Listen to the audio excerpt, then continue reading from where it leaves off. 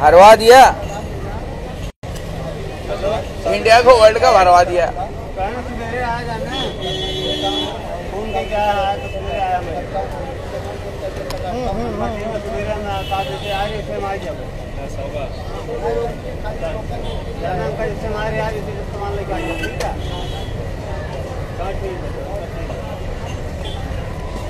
जाना उसको तुम्हारे साथ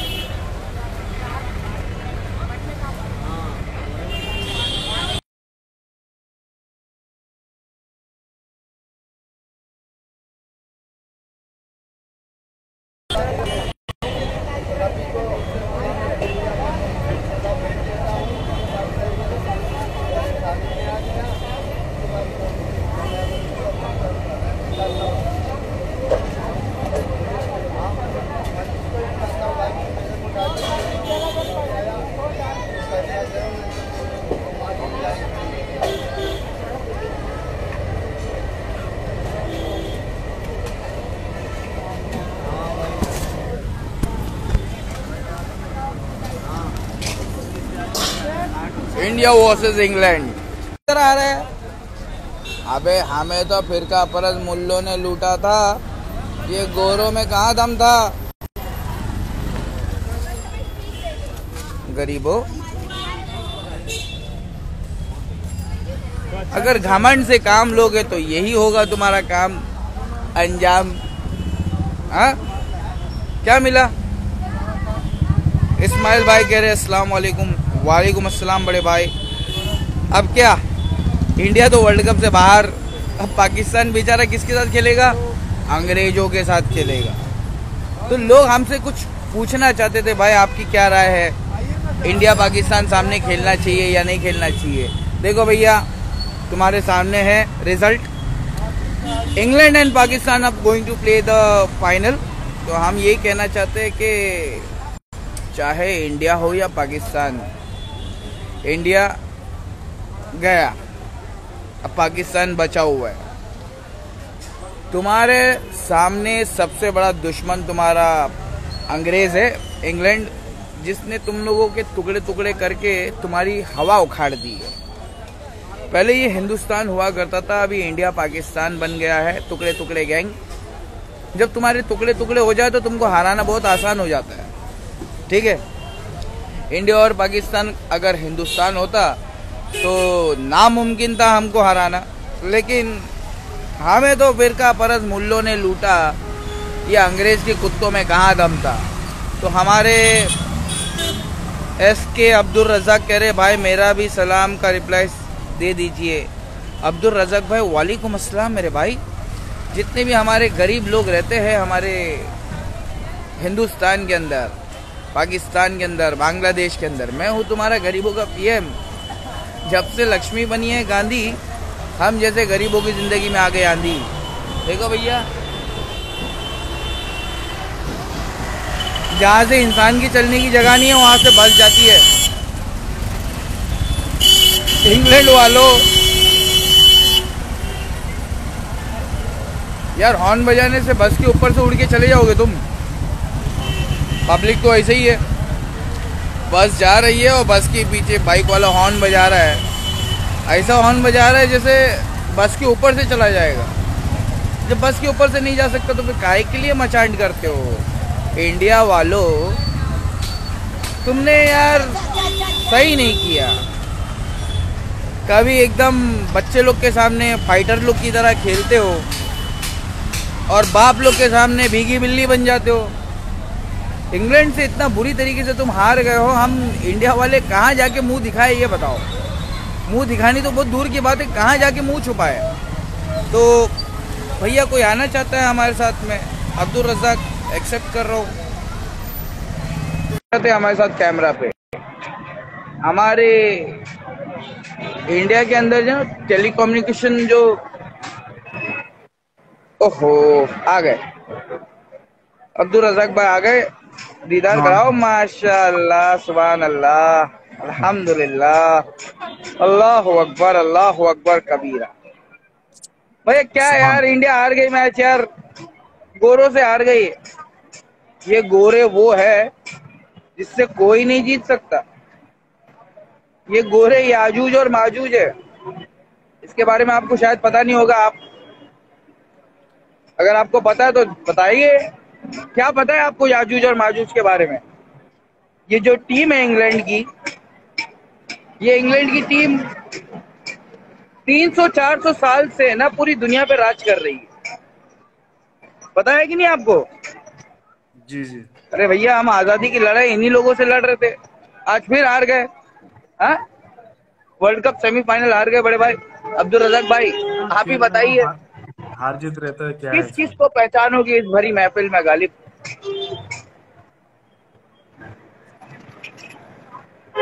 अब्दुल रजाक भाई जी किस बोलिए। किस को पहचानोगे? आवाज़ नहीं आ रही आपकी। जी बोलिए। मैं कह रहा हूँ जय भोलेनाथ की। मैं तो इंडियन हूँ। और आज इंडिया की गोरों ने बराबर तेल लगा के बजा दी। इंडियन क्रिकेट टीम की बात कर रहा हूँ मैं। अब पाकिस्तान की बारी है। पाकिस्तानियों बदला ले लेना हमारे इंडिया का। फाइनल में मिलोगे ना? बदला ले लेना। ये गोरों को छोड़ना नहीं। और बाकी सब मुल्लों को तो हम नहीं छोड़ेंगे। फिर का परस मुल्लों को तो हम नहीं छोड़ेंगे। तोहिद का दामन नहीं छोड़ेंगे तोहिद जानते हो तोहिद सिर्फ़ महादेव। ओनली महादेव। महादेव के अलावा और कोई नहीं। महादेव निन्यानवे नाम है महादेव के। जानते हो? क्या कर रहे आप?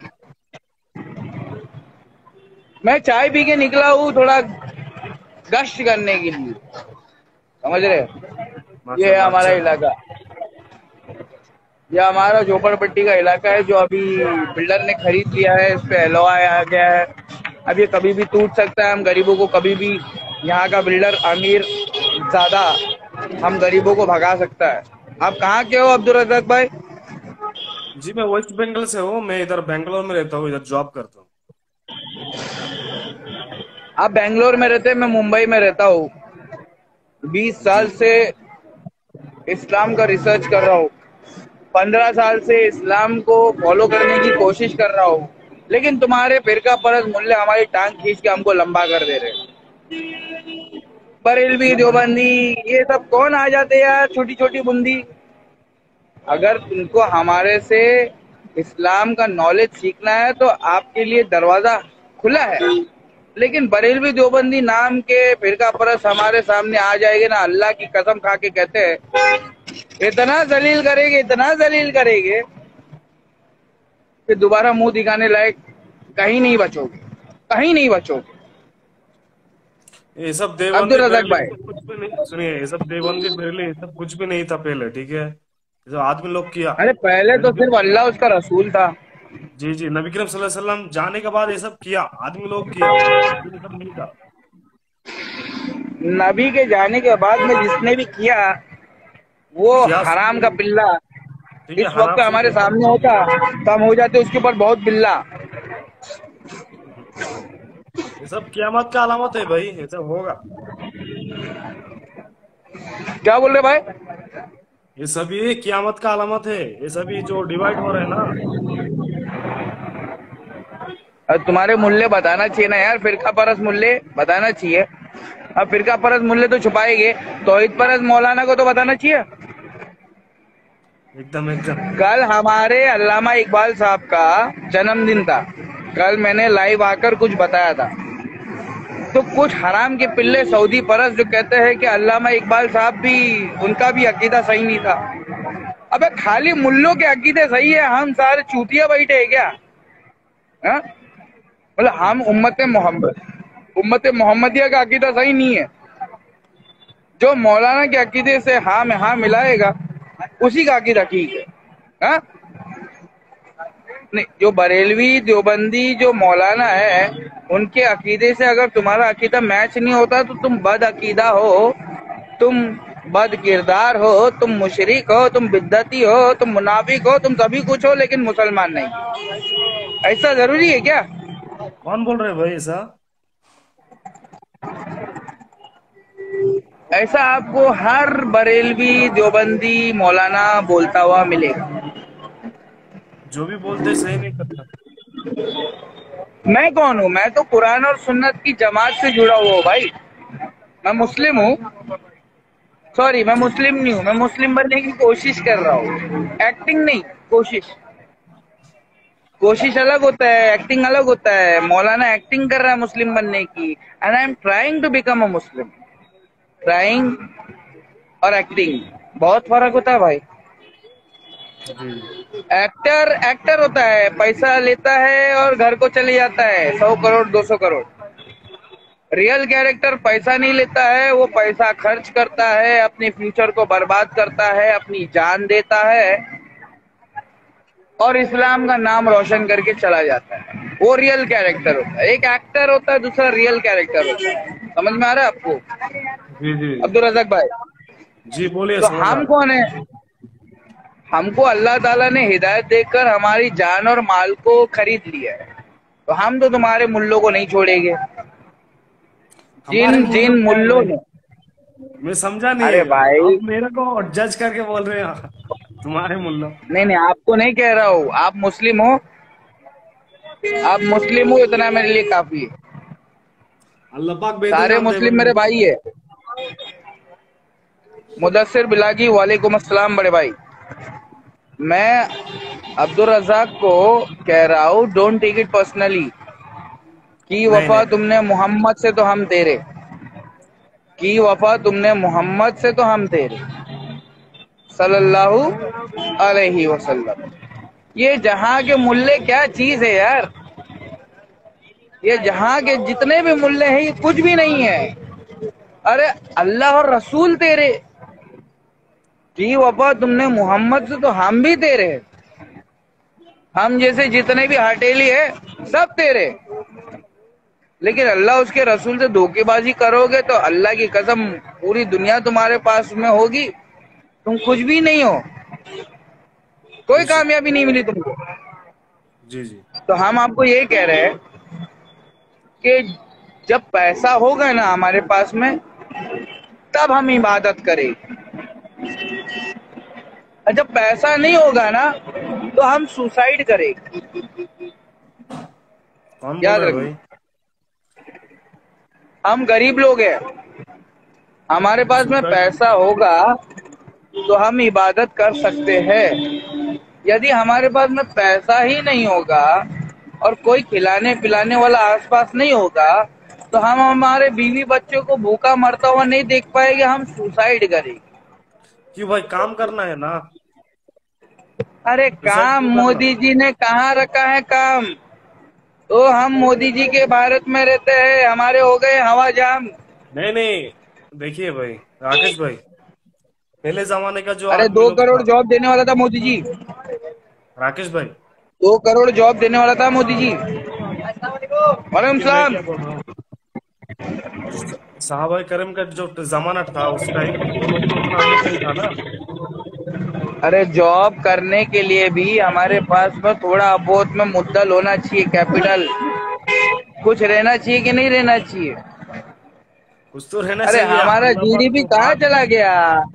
पंद्रह लाख बोल आप जो बोल रहे हैं पैसा नहीं रहेगा तो इबादत नहीं करेंगे। दरअसल रॉन्ग बोल रहे भाई। कौन बोल रहे काम नहीं करने का? आप आपके पास पैसा नहीं रहेगा ठीक है? बट आपको काम करना है अल्लाह पाक दो हाथ दो पैर दिया काम करने के लिए। अरे तो यही तो काम है हमारा। सुनो सुनो हमारा काम क्या है? मालूम मौलाना लोग को है ना इस्लाम समझाने। का हर एक का काम होता है। आपका क्या काम है? मैं इधर कंस्ट्रक्शन लाइन में जॉब करता हूँ। इंजीनियरिंग आप जॉब करते हो ना मैं गुलामी नहीं करता हूँ। मेरे को गुलामी पसंद नहीं है। मैं किसी की बात अगर मेरी गलती नहीं है तो मैं नहीं सुन सकता। और यहाँ पर है ना मैं आत्मनिर्भर 2008 से हूँ। जी। 2008 से मैं आत्मनिर्भर हूँ। मेरे को अल्लाह पालता है। मैं अल्लाह के बताए हुए रास्ते पे बस चलने का काम करता हूँ। भाई बहुत अच्छा ये तो बहुत अच्छा बात है भाई। तो मैं क्या करता हूँ सुनो? लेकिन आप ऐसा क्यों बोल रहे सुसाइड करना है पैसा नहीं रहेगा तो? अरे पैसा नहीं रहेगा तो गरीब सुसाइड करता है ये तुमको बता रहा हूँ रोज न्यूज़ में आता है। बट वो सही नहीं करता है ना? अब्दुल रजाक मेरे को है ना समझने वाला इंसान चाहिए समझाने वाला इंसान नहीं चाहिए। मैं कह रहा हूँ कि लोग रोज सुसाइड करते उस सुसाइड को रोकने के लिए मैं आया हूँ। तुम्हारा मोदी और राहुल गांधी नहीं रोक सकता है। तुम्हारा इमरान खान तुम्हारा इमरान खान खुद सुसाइड कर रहा है। अभी टांग पे गोली लगी अभी गांड पे गोली लगेगी। एक हफ़्ते से वो रैली चला रहा है। उसको क्या लग रहा है? वो गरीबों को बचा रहे। गरीबों को बचाने के लिए पहले कुरान को पढ़ो। कुरान को समझो। लेकिन मेरा मेरा कौन मोदी कौन इमरान खान भाई? आप मेरे को क्यों? अब्दुल रसक आप कटे हुए बटे हुए हो। ऐसा नहीं ऐसा नहीं। मैं कटा हुआ भी नहीं हूँ और बटा हुआ भी नहीं हूँ। अल्लाह की कसम खा के कह रहा हूँ मैं इंडिया का मौलाना नंबर तीन नहीं हूँ। मगर इंडिया टीवी ने मौलाना नंबर तीन बना दिया। इसका मतलब ये है कि हमारे पास बहुत नॉलेज है। इसलिए पाँच बड़े मौलाना में हमको भी घुसेड़ के मौलाना नंबर तीन बना दिया। Give respect then only you will get respect मैं बोल रहा हूँ सुसाइड मत करो। इमरान खान सुसाइड करना इस्लाम में है हराम। ठीक है? आप अपने तरफ़ से कोई कायद कोई लीडर क्यों नहीं बना लेते हो? मुसलमानों। Don't take it personally Abdul Razzaq भाई को पहली बार देख रहा हूँ मैं। अब्दुल रजाक भाई को पहली बार देख रहा हूँ मैं। उन्होंने ज्वाइन करने का रिक्वेस्ट किया तो मैंने ज्वाइन कर दिया। मैं कह रहा हूँ यू तो सैयद भी हो मिर्ज़ा भी हो खान भी हो तुम सभी कुछ हो बताओ कि मुसलमान भी हो? अब्दुल रजाक भाई आपके फिरका परस मुल्लों के पिल्लों ने 20 साल पहले हमारे महादेव का महादेव, जिसको हम भगवान मानते हैं, हमारी जान मानते हैं, उसका मज़ाक उड़ाते हुए देखा था। बचपन में। पंद्रह सोलह साल का था। तो हम है ना, तभी से तुम्हारी किताब पढ़ रहे, आज तुम्हारे मौलाना का मज़ाक उड़ा देते हैं जो कुरान के साथ में खिलवाड़ करेगा, उसका मज़ाक तो उड़ेगा। जो कुरान की आयतों को उम्मत मोहम्मदिया से छुपा लेगा, उसका मज़ाक तो मैं उड़ाऊँगा। अल्लाह ने पैदा ही किया है। जो उम्मत मोहम्मदिया से मौलाना लोग छुपा लेते हैं ना, फिरका परत बरेलवी देवबंदी शिया, सुन्नी, ये सब इस्लाम में नहीं है। इस्लाम इन फिरका परस्तों के फिरका परस्ती से बहुत बहुत पाक है। समझ में आया? मैं किताब के अंदर फॉल्ट ढूंढ रहा था और किताब वाले ने तुम्हारे मौलाना के साथ साथ पूरी दुनिया का फॉल्ट बता दिया हमको। तो अगर तुम्हारा दिल साफ़ है तो कुरान के अंदर तुम्हारे लिए हिदायत है। अगर तुम्हारा दिल नापाक है तो तुम कुरान को फाड़ फाड़ के फेंकोगे और क्या करोगे? जी जी। समझ में आया आपको? अभी देखो इंडिया मैच हार गया। इंडिया इंग्लैंड से मैच हार गया। ये इंग्लैंड ही तो हमारा सबसे बड़ा दुश्मन है। लेकिन नहीं पब्लिक को इंडिया और पाकिस्तान का मैच देखने में ज़्यादा मज़ा आता है। सबसे बड़ा दुश्मन इंग्लैंड है। जिसने इंडिया को और पाकिस्तान को तुक, दो टुकड़ों में बांट दिया। वो इंग्लैंड ही है। मैं टीचर हूँ। मैं सिखाता हूँ मैं सिख जी।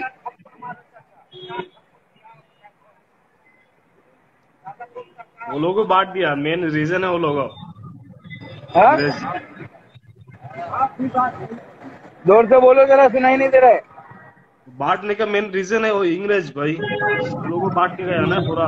अरे ये तुम्हारा मौलाना बताएगा या मैं बताऊँगा? कौन सा कौन आदमी बताएगा? मैं तो जाहिल इंसान हूँ मैं क्यों बताऊँ?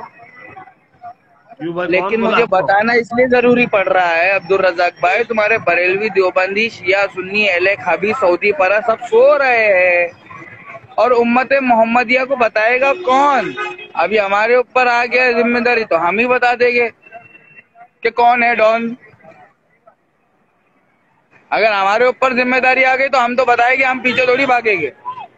जी जी जी। अल्लाह ने कुछ काम दे दिया है हमको उसको तो पूरा करना ही पड़ेगा हमको। एकदम अरे जान चली जाएगी। दुनिया, आखिरत, ये सब जाने दे, हमको कोई प्रॉब्लम नहीं है।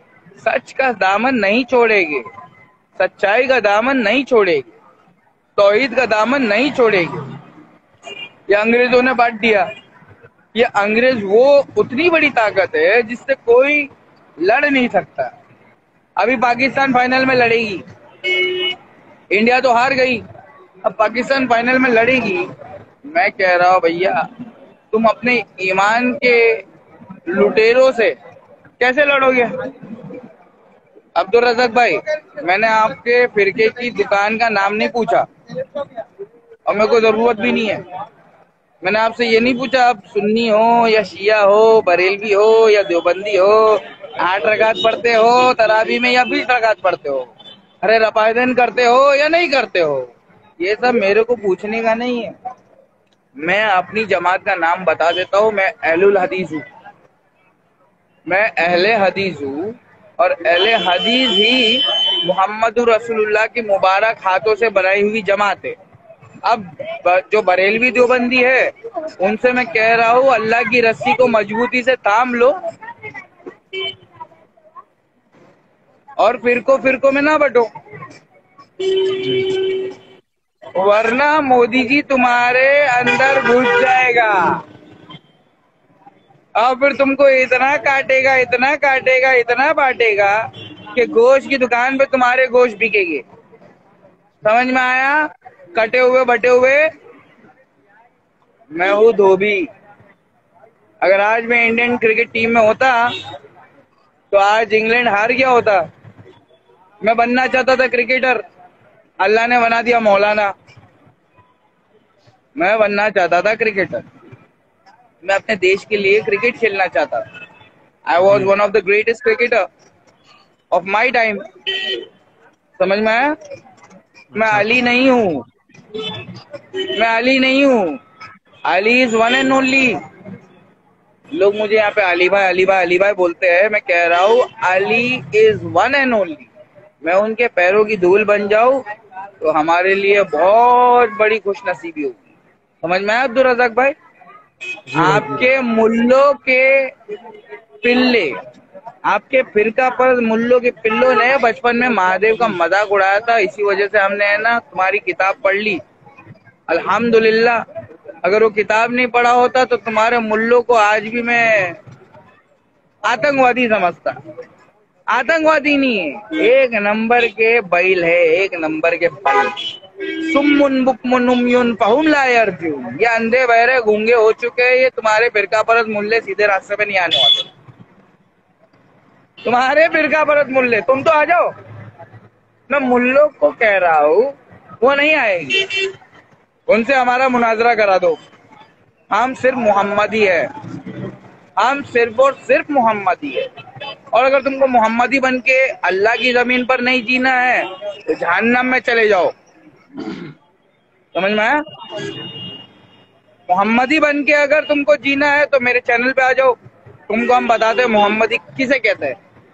अब बरेलवी देवबंदी, शिया सुन्नी बन के जीना है तो मेरे चैनल से पहली फुर्सत में निकल जाओ, वरना हमारे पास में गाली है आप लोगों को अच्छी अच्छी देने के लिए। जो भी फिरका परस्त है डोंट टेक इट पर्सनली मैं किसी को पर्सनली नहीं कहता हूँ। किसी को पर्सनली कहने का मेरे को हक नहीं है। लेकिन जो अल्लाह उसके रसूल के खिलाफ जाएगा दाढ़ी टोपी वाला वो मुसलमान मेरी नज़र में नहीं। समझ में आ रहा है? जी। अब ये मौलाना ही है जो अल्लाह उसके रसूल से आगे बढ़ रहा है। हम तो मोदी जी को भी बढ़ने नहीं देंगे रे। तुम्हारा मौलाना कहाँ से बढ़ जाएगा? हम तुम्हारे मोदी जी को भी आगे नहीं बढ़ने देंगे धर्म से। तो तुम्हारे मौलाना को कैसे बढ़ने देंगे? राकेश भाई। अब्दुल रजक भाई। सुनिए सुनिए। ये है ना आप जो हमारी बातें हो रही है ना ये दुनिया सुनती है। और दुनिया सुनने के बाद में ना वो है ना चेक करेगी कि ये राकेश वाकई में इस्लाम की तारीफ़ कर रहा है। क्या करके? तुम्हारे मौलानाओं की पोल खोल के। तुमको अल्लाह रसूल के दीन की तारीफ़ चाहिए या मौलानाओं की तारीफ़ चाहिए? अगर आपको मौलानाओं की तारीफ़ चाहिए तो आप गलत जगह पे आए हो। आपको अल्लाह रसूल की तारीफ़ चाहिए तो आप सही जगह पे आए हो।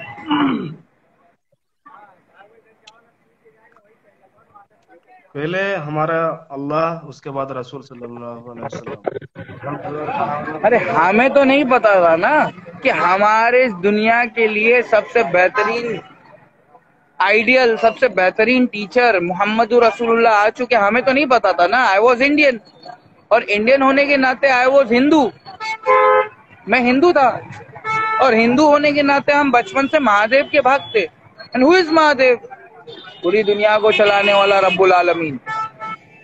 किसने हमको दूर किया? तुम्हारे बरेलवी देवबंदी, शिया, सुन्नी, फिरका, परस, हटीली मुल्लों ने। हमारे धर्म का मज़ाक उड़ा उड़ा के कांग्रेसियों को बीजेपी में ढकेल दिया और वो बीजेपी वाले तुमसे लड़ते हैं, कहीं पे भी। तुम्हारे मस्जिदों के सामने डीजे बजाते हैं, कहीं पे भी। हाँ तुम्हारे मुल्लों को घर में घुस के, मस्जिदों में घुस के तोड़ फोड़ मचाते हैं। कहीं पे भी। ये क्या है? खुल गए याजूज व माजूज के लश्कर तमाम। चश्मे मुस्लिम, देख ले तफसीर हर पे यंसिलू अब याजूज माजूज इतनी भयंकर ताकत है कि अब्दुल रजाक जैसे 313 भी आ जाएगी तो जीत नहीं पाएगी। अब्दुल रजाक जैसे 313 भी आ जाएँगे तो वो याजूज और माजूज से जीत नहीं पाएँगे। तो अब्दुल रजाक को अपनी जान और अपनी ईमान को बचाने के लिए शहरों से दूर भागना पड़ेगा। पहाड़ों की तरफ़ जहाँ पे पानी बहता हो नदी का पानी बहता हो अबे ये पोल्यूशन से इतना घान कर देंगे कि तुम यहाँ पे जी नहीं पाओगे। याजूज और माजूज अबे जिसका भेजा खराब हो जाता है ना वो नंगा घूमता है। समझ में आ रहा है? जिसका भेजा खराब हो जाता है वो नंगा घूमता है। और जिसको भेजा सही कराने का है वो कुरान पढ़ता है। समझ में आया अब्दुल रजाक भाई? जी भाई। तो यहाँ पर है ना लोगों का भेजा खराब हो गया और भेजा रा, राकेश भाई मैं क्या बोल रहा हूँ? आप क्या कर रहे हैं अभी? काम बोल। क्या कर रहे हैं आप? मैं एबीसीडी पढ़ाता हूँ भाई। और उससे मेरा गुजारा हो जाता है। अच्छा माशाल्लाह बहुत अच्छा है। और मैं टीचर हूँ। अच्छा अच्छा माशाल्लाह। तो गश्त का काम हो रहा है? जमात का? तबलीग जमात? देखो ये तुम्हारी जमात जो है ना ये जमात हमसे मुनाजरा करती नहीं है। मोबाइल तो बहुत दूर की बात है। अरे साथ में आके हाल चाल भी पूछती नहीं है। कौन सी जमात से हो आप? हम्म? तबलीग की जमात मैं गया हूँ। देखो मैं तबलीगी जमात की बात कर रहा हूँ। अच्छा अच्छा। जिसने मोदी जी के इंडिया में थूक थूक के कोरोना वायरस फैलाया ऐसा मोदी जी की गोदी मीडिया ने फैलाया, झूठ झूठ फैलाया। मैं नहीं कह रहा हूँ कि ये सच है। मगर झूठ तो फैलाया। तो तुम्हारे तबलीगी जमात के बड़े बड़े कहा, क्या कर रहे थे भाया? वो तो बड़े बड़े सरदार लोग क्या कर रहे थे? जब बोला जा रहा था कि कोरोना वायरस तुक तुक के तबलीगी जमात ने फैलाया, तब तुम्हारे सदर वाले, ये सब क्या कर रहे थे लीडर लोग? क्या ये थुक थुक के कोरोना वायरस तुम लोगों ने फैलाया? ये सवाल का जवाब तुमको देना पड़ेगा आखिरत में। साला कोरोना वायरस नहीं था, वो चोरोना वायरस था जो अंग्रेज़ों ने लाया था। अंग्रेज़ों ने गरीबों को मास मर्डर करने के लिए फिर उनके ऊपर शर्त लगाया कि यदि आपको काम करना है, जॉब करना है, कुछ भी करना है तो आपको दो वैक्सीन लेना पड़ेगा। और वो वैक्सीन ले लेके पब्लिक मर रही है। ठीक है बड़े भाई मैं चलता हूँ। काफ़ी लोग मेरे को रिक्वेस्ट कर रहे हैं। मैं रिक्वेस्ट सबका अच्छा। एक्सेप्ट नहीं कर सकता हूँ। अभी मैं जा रहा हूँ अब्दुल रजाक भाई। उम्मीद करता हूँ कि अब्दुल रजाक भाई वालेकुम अस्सलाम। आवाज़ आ रही है मेरी? जी जी जी जी। बहुत अच्छा तो लगा मैं भाई कह रहा हूँ-। मैं कह रहा हूँ अब्दुल रजाक भाई मैं एक ही जमात को मानता हूँ वो साहबा इकराम की जमात है। जिसका जिसका फाउंडर मोहम्मद रसूलुल्लाह जी। अगर ये जमात के बारे में मुझे नहीं पता चलता तो मैं कभी इस्लाम कबूल करता ही नहीं। तुम्हारी Barelvi Deobandi made in India जमात है यार। इस्लाम अरब से आया यार। हाँ? इस्लाम अरब से आया। आदमी लोग किया ये सब। नहीं बरेलवी देवबंदी तबलीगी जमात ये सब इंडिया की है। ये सब मेड इन इंडिया है। मेरे को ये सब जमात से इस्लाम नहीं सीखना है। Give me the real jamaat. Ji ji give me the scholars of real jamaat. Scholars मौलाना वारिसुल अंबिया। हमको तारिक मसूद साहब से इस्लाम नहीं सीखना है। वो तो इंजीनियर से भाग रहा है। मुफ्ती तारिक मसूद साहब से नहीं सीखना मेरे को इस्लाम।